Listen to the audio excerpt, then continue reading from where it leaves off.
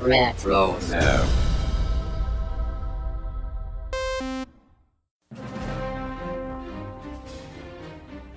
This is Podcast Stardust.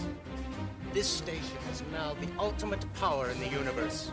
With Dennis Keithley and Jay Krebs. Your behavior is continually unexpected. The galaxy source for Star Wars news, reviews, and discussion. Now witness the firepower of this fully armed and operational battle station.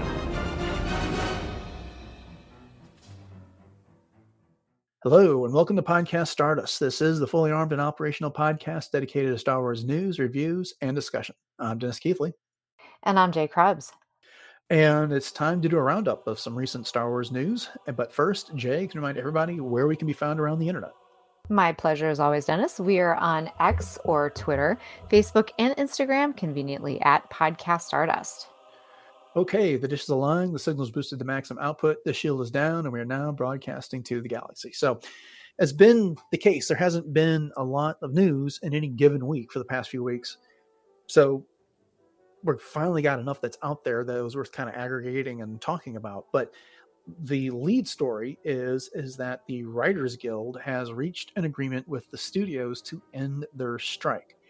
It is a tentative deal that needs to be ratified by the Writers Guild, but at least that part of what's been preventing production on any new projects is over. We still have to wait for some sort of agreement between the Screen Actors Guild and the studios before we can get our shows back into active production beyond writing.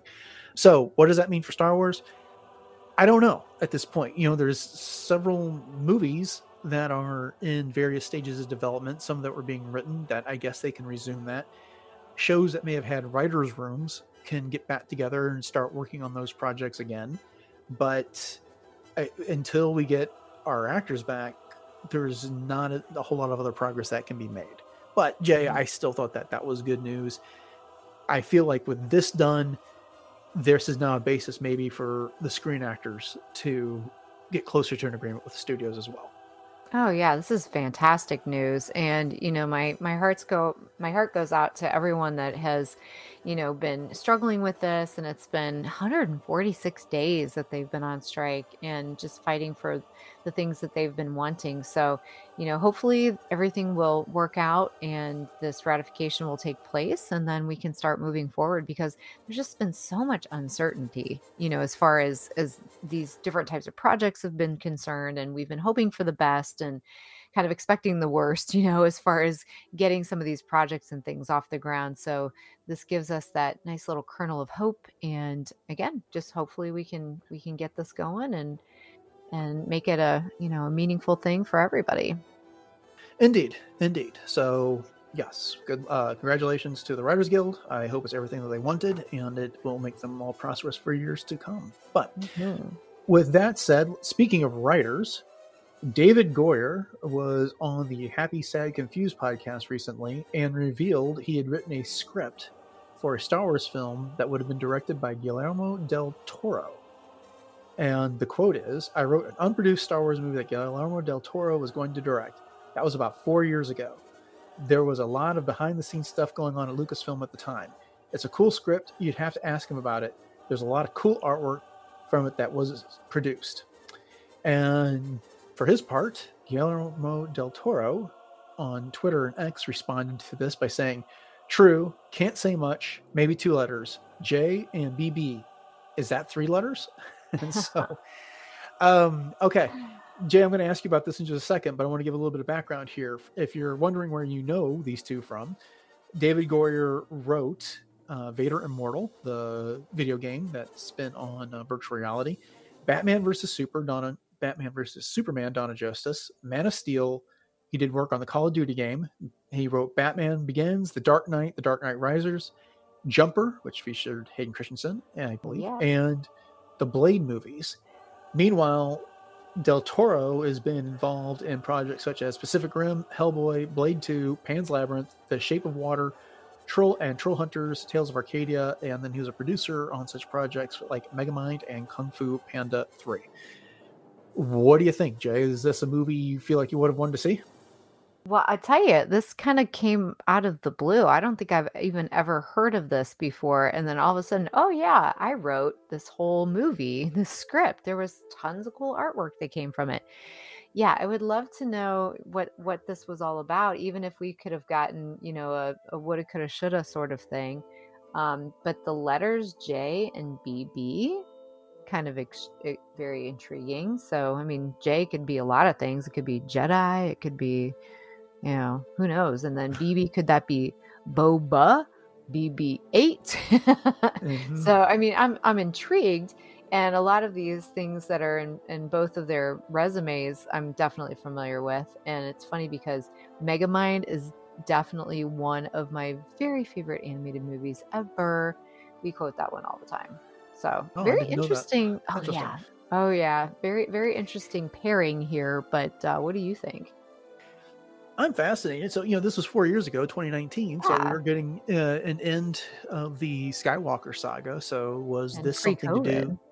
Yeah, was this something to do with those characters? Was this a continuation of that story, and did it get put aside because they didn't know what they wanted to do with those characters, if anything, going forward? I mean, there was a lot of conversation from Lucasfilm types at the time about trying to decide what they wanted to do with their sequel trilogy heroes at that point and how they were going to evolve them in storytelling. And there's been precious little sense with that and those characters, which I feel like has been deliberate. Because so you know, we know we're getting a movie set what 10, 15 years after the Rise of Skywalker, in which Rey's coming back as a Jedi Master, but we still don't know anything about Poe and Finn and the like. Uh, I would have been all on board for this. I mean, you know, just considering the Batman Begins, The Dark Knight, and The Dark Knight Rises, that's a great trilogy of Batman movies. Um, so, you know, now I can also say that Batman versus Superman Dawn of Justice was not a good movie, and I wasn't particularly a big fan of Man of Steel either, but he's done work in Star Wars, or David Goyer, that is, with Vader Immortal, so why not? I, I don't know. I think this would have been cool uh, if they could have found a way. And I'm cautiously optimistic maybe reading into it that if Guillermo is not able to talk about this and he's not burning any bridges over it, that maybe it's something that he could revisit in the future. That this script could mm-hmm. get adapted, updated, and used in some capacity at some point in the future, which would which would be pretty cool. Right, right. And realistically, I mean the Star Wars you know galaxy if you will is pretty limitless. I mean we've uh-huh. we've built up this this whole universe of characters and timelines and that type of thing that is just it's easy to tap into. And yeah it'd be fun to see what they bring to the table that's for sure. Right. Well and you know, lest we forget there was supposed to be a boba fett movie and there had been treatments written for that. And then ultimately that became the book of boba fett series and mm-hmm. so you know they no great script really dies uh, there's this is could be mined for something else in the future mm-hmm. so we'll just have to yeah. so see yeah maybe j is for django J is a shot at J.J. Abrams. I don't know. So we'll yeah, see. Maybe. Who knows? Okay. Well, could we get a live action Clone Wars series? Yes, please. Sorry. there was um, some online discussion, I believe, on X, where someone was complimenting Ariana Greenblatt and for her portrayal of young Ahsoka in uh, the Ahsoka series, and mentioned that you know it'd be great to see a live action Clone Wars series. And Ariana Greenblatt responded to that, you know, like, thank you very much.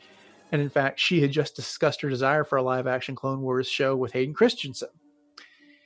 Okay, so it's just two actors with some wishful thinking, but how cool would that be? I that was so awesome to see an episode five of Ahsoka. Yeah, make it happen. Oh yeah, for sure. And if they're both willing to do it, and you know, there's obviously the fan interest in it, and yeah, definitely. Why not?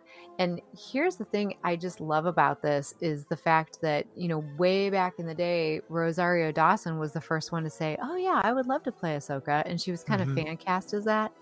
And there was a lot of fan support for that as well. So, you know, who's to say that, uh, with all the fan support that has come out of this, and if if Hayden's willing and Ariana's willing, and you know the the powers that be are willing i definitely think that there would be a lot of a lot of support for it. I would totally support it. Mhm. and even telling more stories. They don't have to retell the same stories necessarily but you know maybe even just do it from a different point of view for example or expanding on things that maybe happened in um, kind of in you know sort of just throwaway lines and then they could make whole episodes out of those i don't know i'm, I'm here for it i would love it Well, and one of the things that was about the Clone Wars was is that they jumped forward and backward in the timeline multiple Mhm. times throughout Oh, that yeah. series. So I suspect there's some corner that they could tuck a story into and give us six to eight episodes of and tell that story if it was something they wanted to do. The other alternative is is that this could be part of your sequel to Obi Wan Kenobi, if you wanted to go that route. Get oh. Ewan McGregor back in the fold and have him do some mission, maybe to some planet that the three of them had been on for some mission during the Clone Wars, and have flashbacks to that. oh yeah. Oh yeah. Definitely. Yeah i'll take that in any way shape or form. It was beautiful. I mean the way that they treated the clone wars in the ahsoka series was absolutely beautiful. Yeah, and those two had chemistry. I mean, it definitely. wasn't they weren't on screen that much together, but what there was there, what was there was great. Oh. So I would love to see that again. me too Now, cast us in Asajj Ventress as like the villain. That'd be awesome. oh, So- Okay. So we've got a little bit of uh, comic news. And up first, next year in April, I believe, 2024, the comics will be celebrating 10 years of Rebels by giving us a series of variant covers for the Star Wars and Darth Vader ongoing series. So the covers that we can expect uh, on Star Wars, running from issues 42 through 45, will feature the Grand Inquisitor, Kanan and Zeb, Hera, and Thrawn. And then on Darth Vader from 42 to 45, we'll have Ahsoka, Ezra and Chopper, Sabine, and Agent Kallus. Did you get a check, chance to check out these uh, variant covers, Jay? Yeah, and they're they're spectacular. And just starting in January with the Grand Inquisitor and then going through April, um, definitely have my favorites. I love the Hera one, and I think that one's fantastic. And then I really love the cover of Ezra on Chopper, like riding Chopper. And that's that's such a great visualization with Lothal in the background and everything. But uh, can never get enough Hera. And then, of course, Agent Kallus. I mean, they're all great. They are all amazing. And there's not a one in the bunch that, that you know, that I wouldn't want to try to to pick up or at least ooh and ah over for a while. But did you have a favorite? Yeah, Hera's was my favorite. I think that was the the best representation of one of the characters. I was also a big fan of the Ahsoka cover, and I think my third one is the Kanan and Zeb. Mm, And mhm. Maybe it's just because they've been left out of Ahsoka. I don't know, but uh, these are being driven, uh, drawn or produced. The art is by Caspar Wijngaard, who's done other stuff for Star Wars comics in the past, some various covers and art. So um, these are just this is a fun way to celebrate. I don't collect much in the way of variant covers. I don't go out of my way to do it. But that being said, I have a number of variant covers from different comics. Uh, that first issue of Star Wars that came out in 2015 there's a number oh there was something like almost 100 different variants that they put out on that and i think i've got one or two of those i think i got one maybe through the marvel unlimited stuff i can't remember but then there was uh, others that i've picked up here and there if i notice one and it's not ridiculously priced then sometimes i pick it up but sometimes these things get produced in like limited numbers of 25 or Mm, just wow. enough that a comic shop will get one and so you know they'll Ooh. You know 30 copies of whatever you know star wars number 42 and one copy of the variant cover and so Oh, wow. it's up to that comic shop how they're going to sell it you know what the markup is going to be and how they're going to determine which one of their customers gets it uh, because usually people are putting in requests for these things so Wow, that's intense. yeah i have no idea exactly how limited these variant covers will be but they will make fun collector pieces for especially for rebels fans Oh, yeah.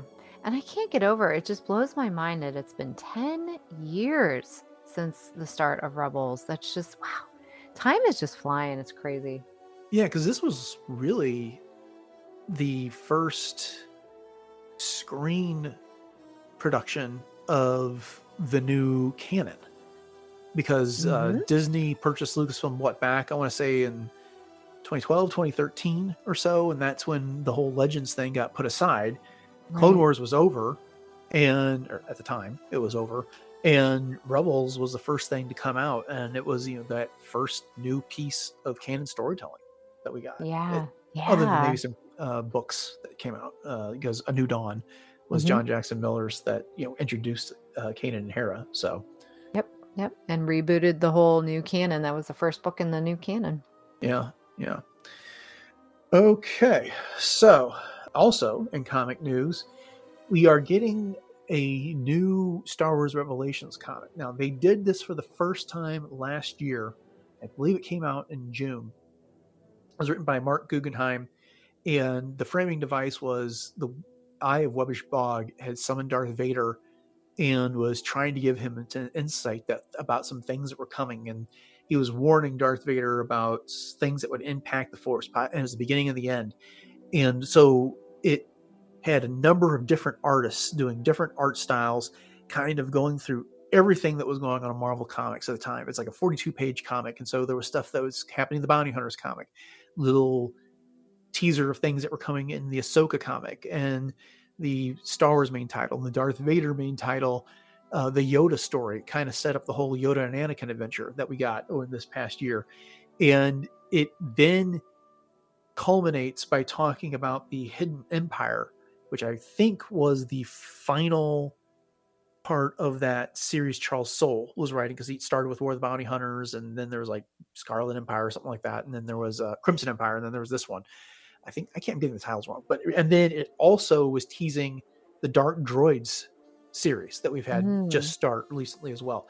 So they're going to do something like that, and it's again going to be written by Marc Guggenheim, but he's got co-writers this time, including Charles Soule, Greg Pak, Marc Bernardin, Alyssa Wong, Ethan Sacks, and Kevin Scott. Okay, these are all the main writers on the different series that are Oh, going on right yeah. now. And okay, this is also going to span the time period ranging from the High Republic all the way up to the original trilogy.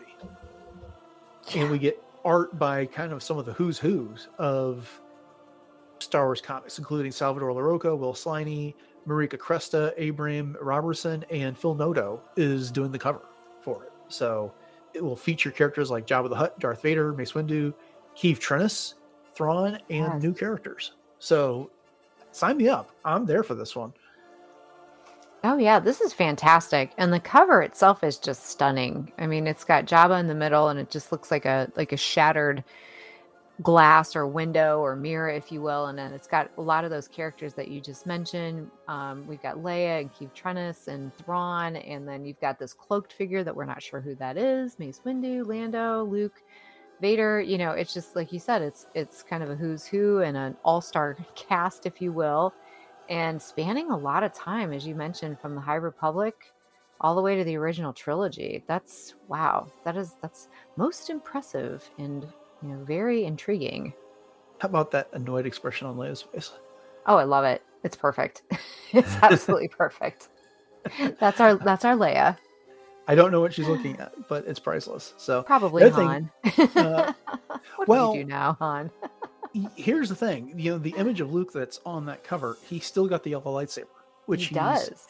picked up in the comics after the empire strikes back and he's not yet built his green lightsaber so i'm guessing whatever story involves leia luke and like is still set in that period of time between the empire strikes back and return of the jedi Ooh, that's fun. so yeah i mean han would be a logical choice but it could be lando for all we know Could be.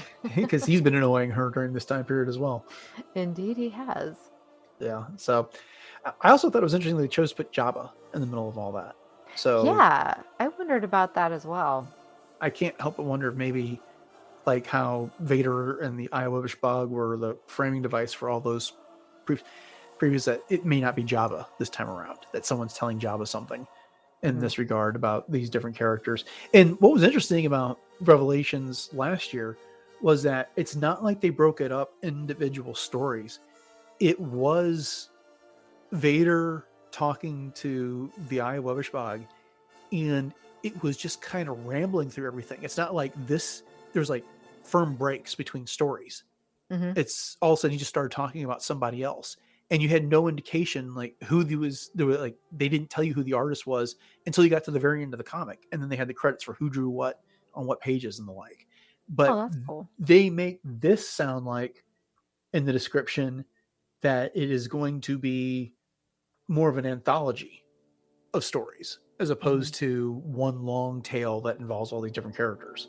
Hmm hmm Well, that makes sense, especially since it's spanning such a huge time frame. And but Jabba is one of those characters that he's kind of the six degrees of separation between just about everybody.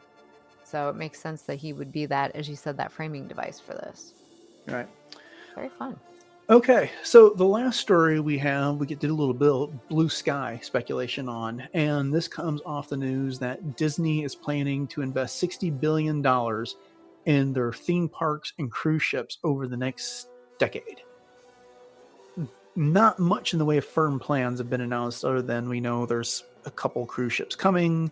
Uh, there's been some expansions and um, changes to the parks that have been coming, but those are things that are kind of take place over the next couple years, which still leaves us like seven years or so of stuff of potential development. So you get to put on your Imagineer cap, Jay, Hey. and if you were asked, what could they add to the Disney parks for Star Wars? What would you want them to do? Wow, boy, the galaxy is wide open, isn't it? Well, Mm. honestly, you know, there are things I feel like from the Galactic Star Cruiser, you know, the Halcyon, that they they should be able to salvage some of that to be able to Mhm. put that in for, you know, more of a of a general population kind of a thing.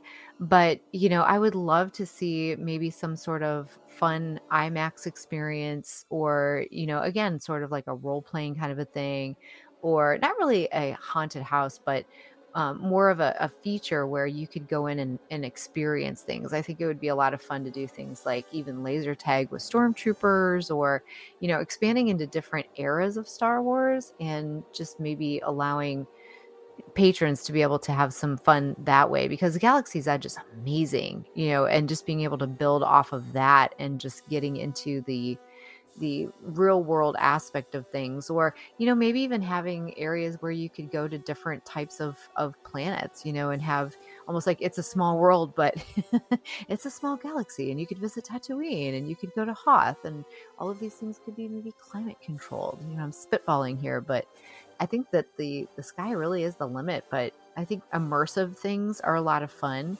Mhm. and you know and we've got a lot of those already with the food but just expanding on a lot of that but uh but what do you think Well, you mentioned the laser tag thing, and that reminds me of that VR experience that they used to have at the Void.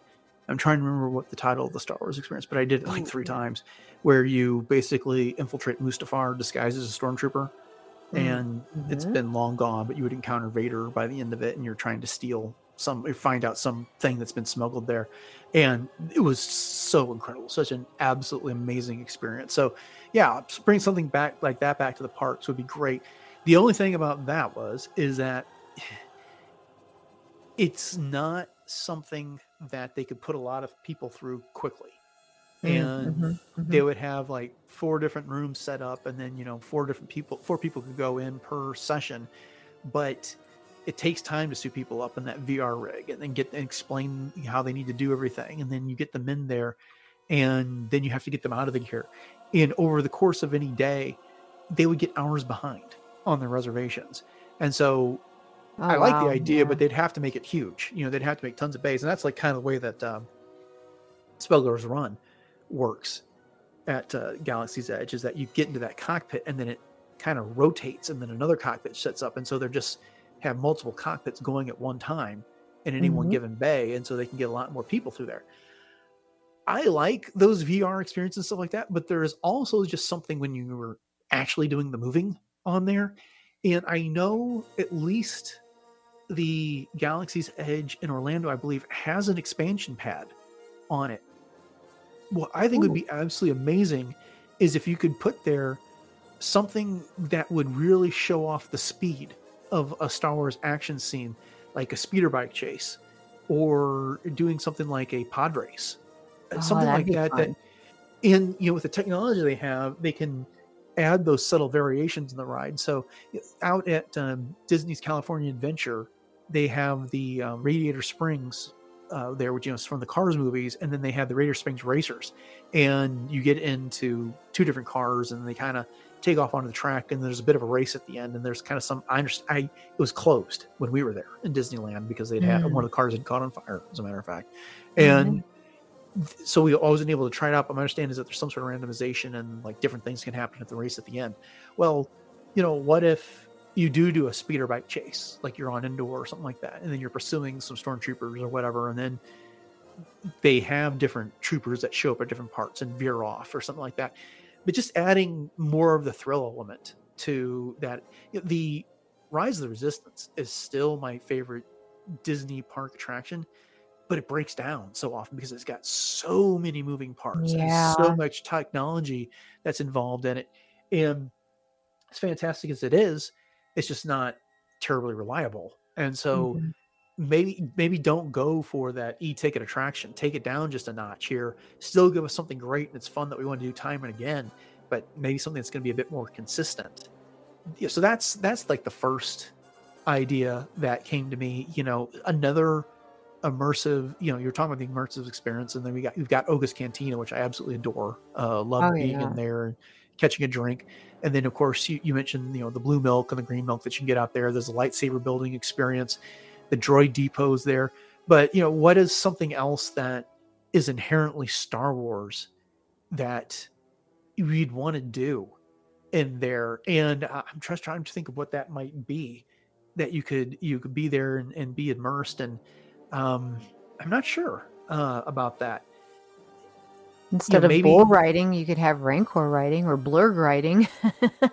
yeah you get Yeah. thrown off a blurrg.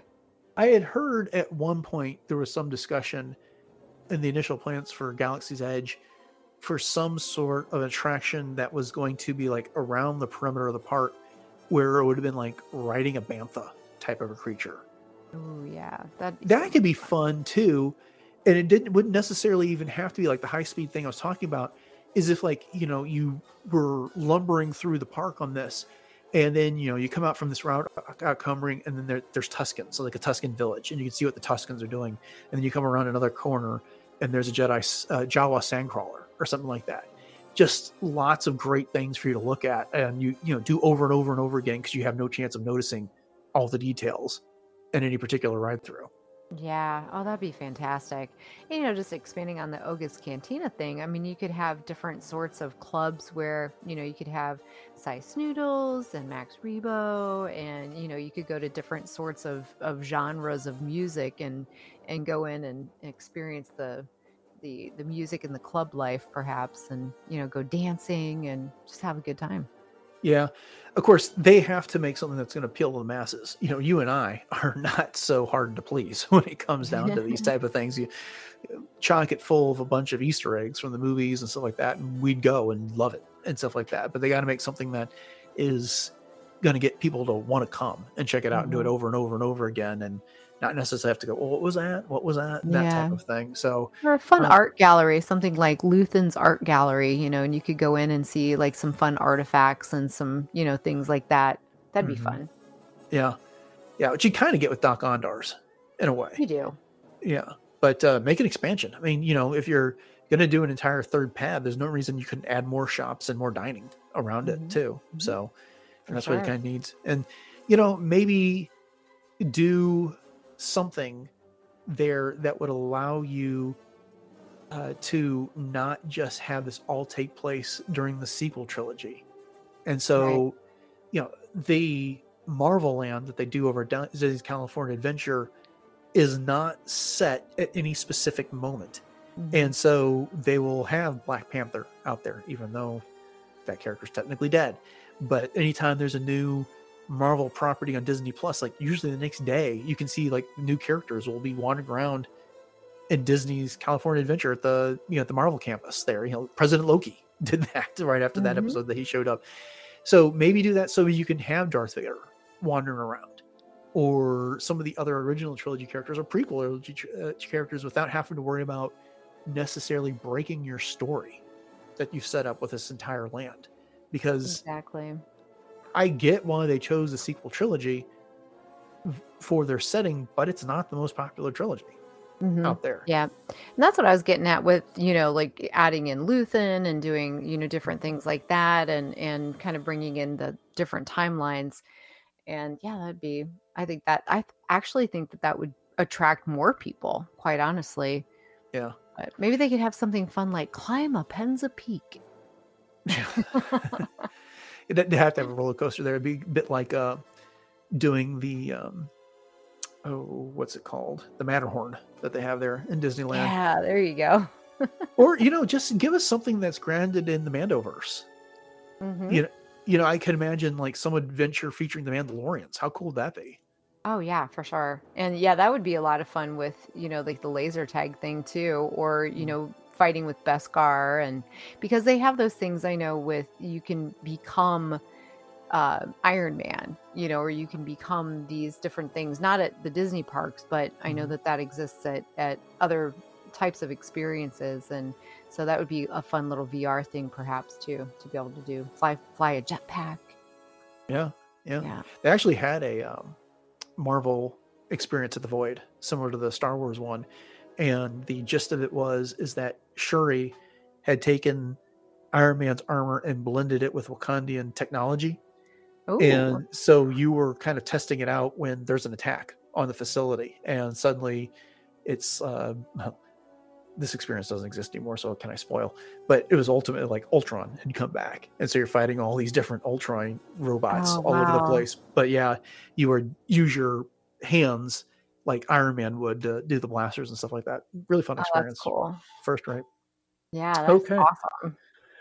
Well, I can't wait to see what they do. I am not expecting a whole lot more Star Wars in the parks uh, right now because they've got those fully developed lands. We we I feel like you know getting experiences for Star Tours is what we're going to have as far as that, but we can dream.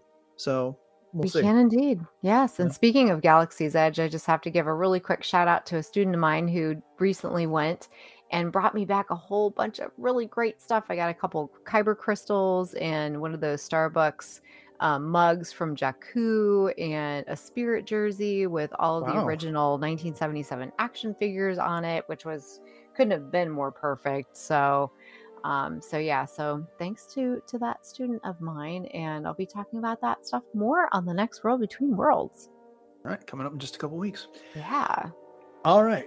Well, then, so this is fun. Get to talk some news. It's nice to actually have some, which has not been the case every week lately. But indeed thank you all for joining us for it. And we hope you've enjoyed this episode of Podcast Stardust. And if you did, then hey, hit that subscribe button on your podcatcher if you haven't done so already. And I'd like to remind you, you can find the entire catalog of shows over on retrozap.com, which has several other great podcasts covering everything from the MCU and DC to Dune, Star Trek. Animaniacs, Love, Death, and Robots, a whole lot more is going on over there. There's a lot about collecting that happens at RetroZap. And as always, we greatly appreciate your interaction with the show, uh, especially if that is a five star rating and review on your podcatcher sh- choice. And just getting back in touch with us on our various social media outlets. I've been really eating up all the interaction that's been happening on YouTube. We've had a couple people that have been reliably responding to the episodes there, which has been fun. Uh, getting some comments on uh, X these days has been great. Um, so, you know, wherever you're finding the show, interact with us when possible. And we, we love hearing from you. Uh, Jay, with that being said, can you remind everybody what our social media contacts are? Absolutely. We are very easily found on X, Facebook, and Instagram at Podcast Stardust. And um, we're very easily findable everywhere else, too. We have Pinterest boards and a YouTube channel, which does have all of our past episodes, as well as some unboxing videos. And we have a Discord room over on the RetroZap Discord server where you can join us for some real time chatter. Really easy to do. All you have to do is go to our show page and click on the community tab, and you're there. And while you're there, you can also check out all of the other pop culture type rooms. All the RetroZap shows have their own rooms, and there's a lot of really fun geekery kinds of things going on. So chances are you'll have some fun talking about something. And then we also have a TeePublic store where we are teepublic.com slash user slash podcast stardust. And we do have seven different show logo designs available. And we'd love to see you guys picking some of that stuff up and then snapping some pictures and putting those on social media and tagging us. We'd love to see those out in the wild. And um, with that, Dennis, why don't you let everybody know you've got some other things going on with your other podcast, Warp Trails? Love to hear about it. Right. So my wife and I like to talk about Star Trek, and we are doing that on Warp Trails, which is exclusive to the Retrozap podcast feed. We are currently in the middle of season four of Lower Decks, so it, we're having such a good time. They had a great episode about Orions last week, which was just a hoot. So if you're into that, then check us out on the Retrozap podcast feed. And I'd be remiss if I didn't ever bring up the fact that I was recently on the Album Cockpit podcast with our friend Ross Holliman talking about the first volume of Ahsoka that came out. Uh, we did a nice. quick 30 minute episode. He's been busy being one of the guest hosts over on Coffee with Kenobi as they cover uh, Ahsoka, but uh, he invited me on and we knocked out a quick episode talking about some of the tracks from that. So make sure you check that out on Spotify. Jay, what have you got coming up in cosplay? I'm very busy right now with the cosplay biz, which is a good problem to have. So you can catch all of my adventures over on j.snip say that again, J.Snips Cosplay. And um, I have some events. I was just at the Hartville Toy and Comic Show, so you'll have to check out the pictures from that. And then I also have a couple more kind of things coming up here in the next couple of weeks. I have um, an event in my hometown of Wooster at Operation Fandom uh, the first weekend in October. And then I will also be in New Philadelphia on October 15th for Art on the Alley. And so you can catch me as Ahsoka. I do have my new Hera from the Ahsoka series that I debuted at the Cleveland Gaming Classic recently. And I'm also a bunch of other things as well. So you can catch me as the fourth sister. I hate to say things, people from Kenobi series and Leia from Endor on Return of the Jedi, and just having tons and tons of fun over there. So come check it out, J.Snips Cosplay. Okay, coming up on the show this Wednesday, we get back to From a Certain Point of View, Return of the Jedi, with a discussion of five more of those stories. And then on Friday, it's sad to say, but we'll be discussing the season finale of Ahsoka. So, with that, thanks for listening to episode 632, everyone. Have a great week, and until next time, may the Force be with you.